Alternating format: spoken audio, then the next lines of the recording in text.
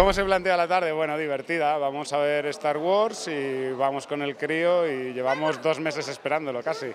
Ya hace dos meses que tenemos las entradas. Pues que sea chula y que veamos algunos viejos personajes.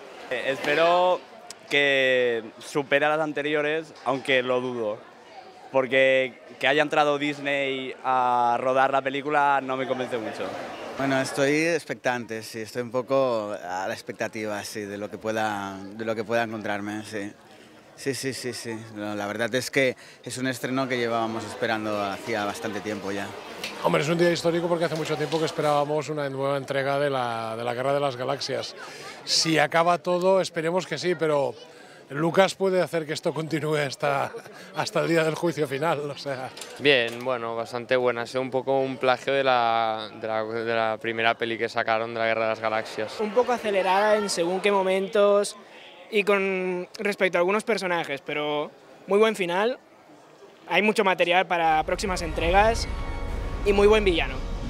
Pero no es para nada lo que me esperaba. O sea, cogen muchos elementos de la primera saga, pero a la vez innovan muchas cosas para mí.